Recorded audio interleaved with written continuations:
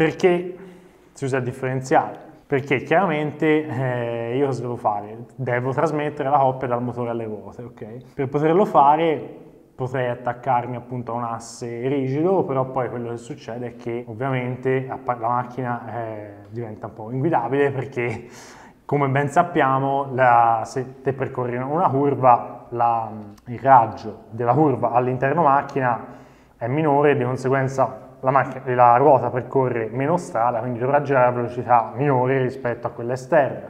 Quindi staremmo sempre tutti di traverso. Esatto. E sotto i Infatti nel drifting poi saldano i differenziali e fanno queste cose. Vabbè, insomma, quello infatti può avere anche le sue applicazioni, ovviamente.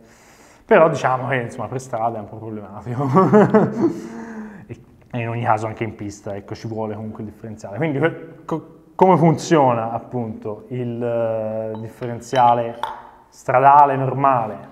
Ci sono questi ingranaggi che danno un grado di libertà in più all'asse rispetto all'asse rigido, cioè permettono alle ruote di eh, ruotare liberamente rispetto all'asse, ma di trasmettere comunque la coppia, ok? Però qual è il limite poi eh, di questo sistema? È che eh, si può dimostrare matematicamente che comunque lui, per come è costruito, eh, ripartisce sempre la coppia in modo uguale sulle due ruote. Quindi la coppia che entra alla corona viene trasmessa a metà sulle due ruote. Però la coppia che viene trasmessa alla corona qual è? È quella che poi io scarico a terra, ok?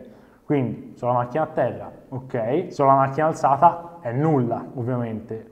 Se ho una ruota a terra e una ruota alzata, eh, si capisce bene che essendoci anche una sola ruota alzata e dovendo essere uguali, come abbiamo detto, le coppie sulle due ruote, se nella ruota per aria trasmetto coppia nulla, trasmetto coppia nulla anche nella ruota a terra, quindi di fatto non accelero, cioè io posso dare tutto il gas che voglio, mi slitterà la ruota alzata.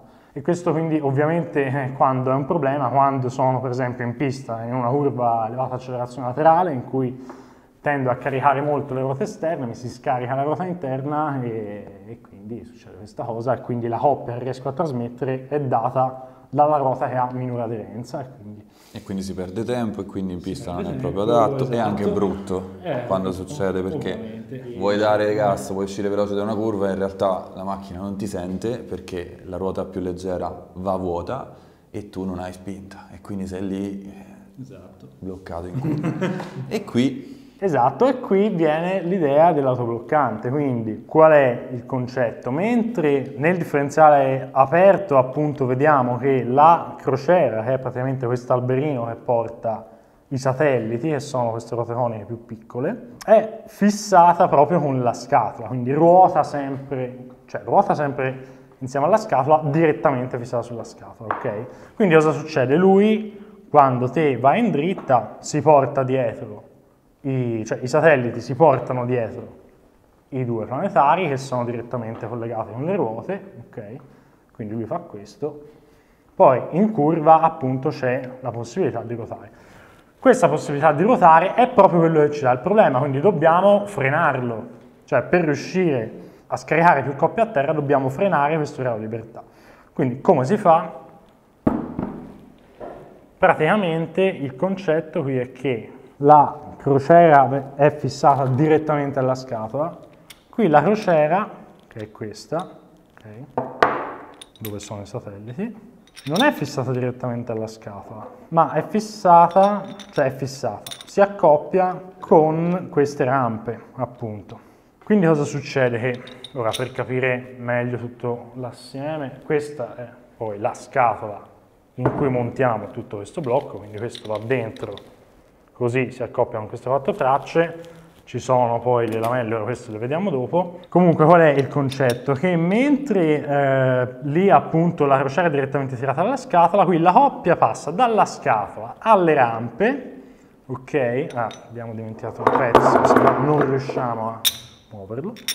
Facciamo vedere da un lato solo, tanto il concetto è, è lo stesso. Cosa succede? Che siccome io appunto eh, la coppia mi passa, viene trasmessa la scatola su questi denti, succede questo.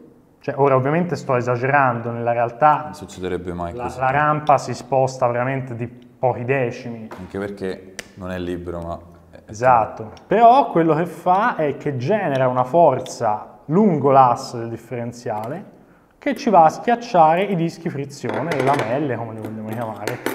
Quindi, per esempio, cioè, come funziona? Questo disco si accoppia con il planetario, ok? Che è, appunto, come detto, ruota dentata, diretta... Mm. collegata direttamente al pneumatico. Quindi, se io vado a mettere un disco accoppiato col, col planetario, un altro disco con questi stessi denti, che quindi si accoppia con la scatola, questa forza, poi vabbè ovviamente abbiamo la, la molla a tazza che ci dà il precarico al sistema, questa forza mi va a schiacciare questa frizione, ok? Quindi cosa succede? Che io vado appunto a frenare il movimento del eh, planetario rispetto alla scatola. Se immagini di avere una forza tanto grande da riuscire a bloccare completamente il, eh, la rotazione relativa del planetario rispetto alla scatola, hai fatto un asse rigido. Quindi, se te pensi ai due estremi, il differenziale libero è senza questa frizione e quindi completa libertà del planetario di ruotare rispetto alla scatola, l'asse rigido è planetario bloccato rispetto alla scatola. L'autobloccante è tutto ciò che c'è nel mezzo, perché di fatto io cosa posso fare? Posso scegliere quante lamelle mettere, quindi quante superfici avere effettivamente in uso nella frizione, posso scegliere l'angolo della rampa, perché qui cosa succede? Che chiaramente più l'angolo è chiuso e meno è poi la componente di forza che mi va a schiacciare la frizione, più quest'angolo è aperto, quindi la rampa più è estesa, e più che nel dare coppia mi si genera una forza estesa e quindi più blocco. Infatti come vedevamo quando abbiamo montato il differenziale da 75, dalla rampa a 45 gradi che ci dava un bloccaggio di circa il 50%, passando alla rampa a 60 gradi aveva un bloccaggio dell'80%, quindi insomma, il meccanismo è questo, poi appunto i parametri su cui si può intervenire, abbiamo detto il numero di superfici in attrito, poi vabbè in progettazione ovviamente il raggio medio delle lamelle gli angoli di rampa, poi di solito almeno, ci sono comunque almeno due possibilità di rampa in cui scegliere poi che uno si può aprire il differenziale e spostarlo dove vuole. E se noi l'avessimo messo su quell'altra rampa, quella più Esatto, ora diciamo questa qui è quella più morbida.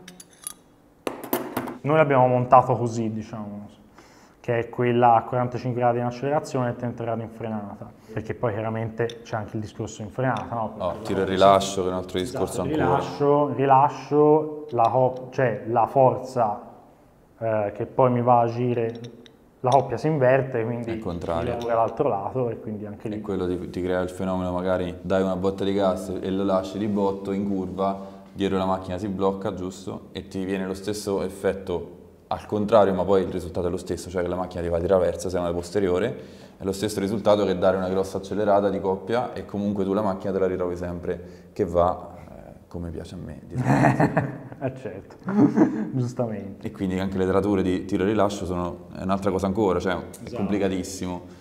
Chiaramente non si riesce a far capire in pochi minuti.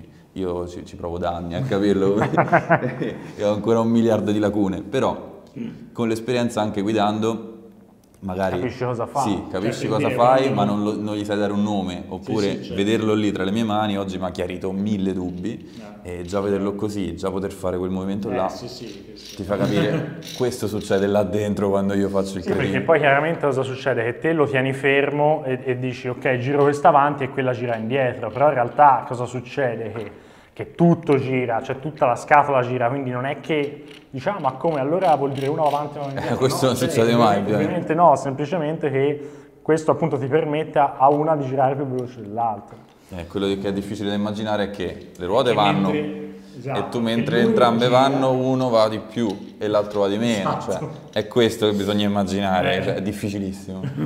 questo marchingegno qua difficilissimo ci ha permesso da decenni di divertirci come dei matti. Che poi un altro problema mm, importante è proprio l'uso delle parole, no? La gente con il termine bloccaggio si fa fregare e io in primis ci sono passato e lo ammetto candidamente, ci sono passato anch'io a farmi fregare con il termine bloccaggio perché molti credono, non era il mio caso, ma comunque molti credono che il differenziato bloccante sia un, questo mago che capisce quando deve fare le cose come per magia, non è così, è, è meccanico, quindi è eh, fisico. Eh, esatto, cioè nel senso è che proprio per come è costruito, cioè te quando eh, lui trasmette una certa coppia, te dai una certa coppia, e lui di fatto che fa? Eh, la trasmette tramite la rampa, quindi lui blocca sempre, cioè eh, più coppia dai e più blocca, più la rampa è inclinata e più blocca, cioè non è che sa appunto quando la ruota sta slittando, perché comunque è un pezzo d'acciaio, cioè giustamente non ragiona. Non ha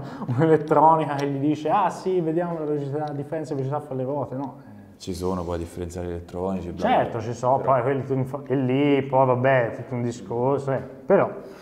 Quello meccanico si basa sul, sulle leggi sì, la, la, cosa, la, cosa, bella è che comunque pur essendo, cioè pur non sapendo cosa succede, effettivamente funziona bene, no?